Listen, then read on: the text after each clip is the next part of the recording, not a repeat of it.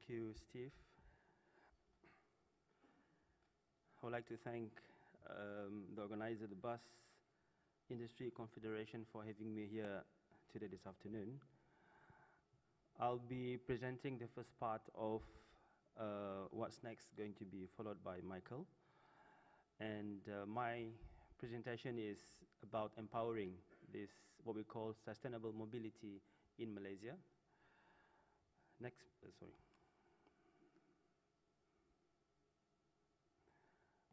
A short introduction of who is MAI, the Malaysia Automotive Institute. It's an agency under the Ministry of uh, International Trade and Industry, MITI in short. We were formed in the year 2010 as a think tank to the government.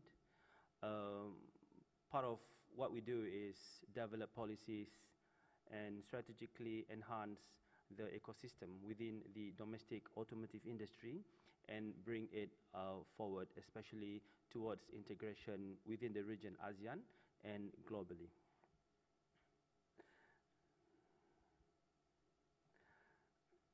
Now, one of the early deliveries of MAI, way back in the year 2014, was the announcement of this National Automotive Policy 2014. Now, what is this policy all about? It was launched in January 2014, and the key deliverables of these policies are two.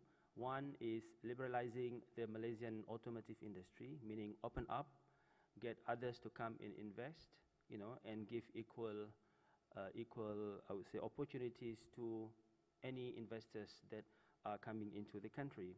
Secondly, it's about making Malaysia as the energy efficient hub or energy efficient vehicle hub.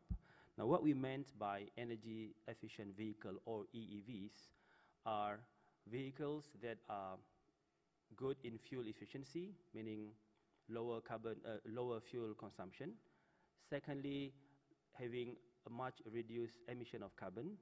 Thirdly, has high standards of safety, security, as well as comfort. EV or electric vehicle is very much an important segment of what we call as energy efficient vehicle. When we decide to become the energy efficient vehicle hub of ASEAN, it's just not about producing these EEVs in Malaysia. It's about future vehicles, future passengers and commercial vehicles to be sold in the country should meet these green, uh, green categories as in fuel efficiency, carbon emission, and so on. Now, at the same time, it is also about developing technologies that are related to the features of this electric vehicle or the bigger picture, the technology features of the energy efficient vehicles. And to take leadership role in two aspects. Number one is development of policy, development of institutional framework, as well as regulatory practices.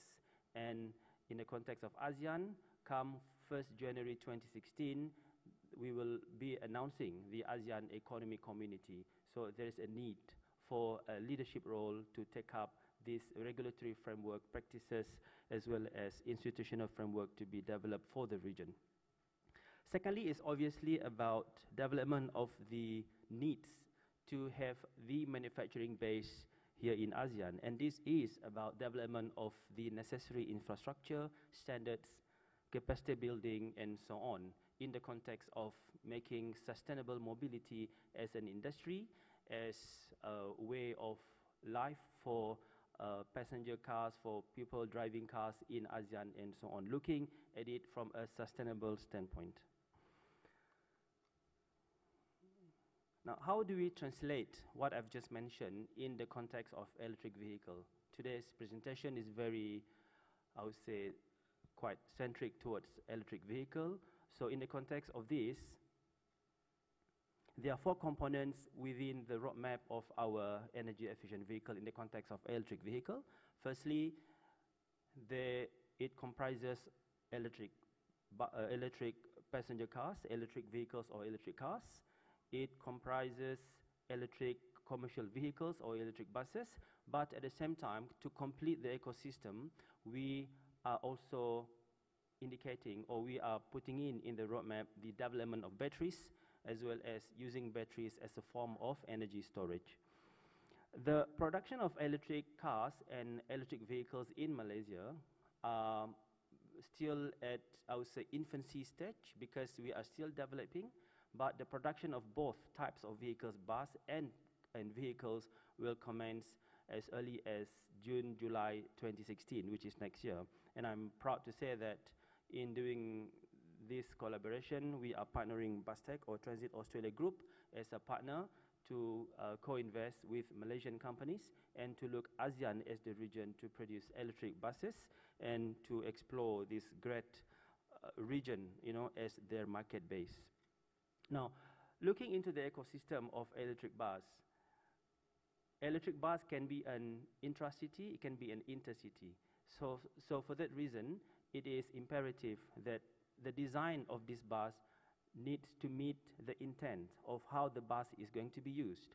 And, and because of that one, again, not only inform in terms of the chassis of the bus that should be able to accommodate the, the different requirement in terms of kilowatt hours depending on the distance that the bus will be traveling, but more importantly also that the batteries itself, the module, the module of the batteries can be manufactured to meet to the customized kilowatt hour that a particular bus requires. And for that reason, the whole ecosystem of enabling this, and this is where the manufacturing of lithium ion batteries will also start by next year, sometime in September 2016, and it is part of our electric vehicle penetration plan. And energy storage, we view energy storage as one of the spin-off from electric vehicle. We view that electric vehicle cannot just be angled from a vehicle standpoint, you know, but there are many other spin-off from the batteries itself, one of which would be the energy storage. To use the lithium iron phosphate batteries to be energy storage and to harness the RE, renewable energy, solar energy, you know, and to use that, store that and use that in the transportation system. So the ecosystem of what is being built now in Malaysia comprises firstly of the module assembly of batteries that will start next year.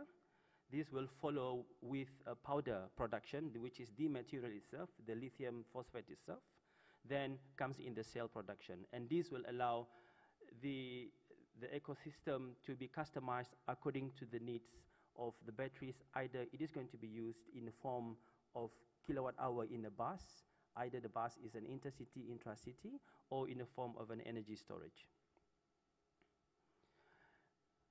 And lastly, we think that since battery and other materials, composites for example, are all enablers towards green mobility, towards electromobility, there is also a need to start developing, have a roadmap to ensure that whatever that is going to be produced will remain tip-top in terms of its, uh, for, for a battery, it, it remains tip-top in terms of its energy density, energy storage, and therefore there's this whole collaboration with Australia and must also inform that this is under the Malaysia-Australia Free Trade Agreement. There is a whole form of collaboration now with Australia to develop this, not only the first phase of lithium iron phosphate, but this will be developed into the next generation of batteries and at the same time the whole development, capacity development of composites that will come in also later on to produce electric cars and electric buses of lighter material but yet strong material. So all these are being developed, are being developed together to make sure that the, elect the electric mobility in Malaysia for ASEAN with together with Australia is will become a reality and it is not only the production of today, meaning starting next year, but it is a continuous effort. It's a roadmap to ensure that the enablers remain strong, the technology remains strong, and we will not be left behind in terms of what's new in the uptake of all these technologies to make sure that whatever produced in terms of buses, in terms of vehicles, you know, remain relevant, remain the best in the region. So ladies and gentlemen, with that, thank you very much.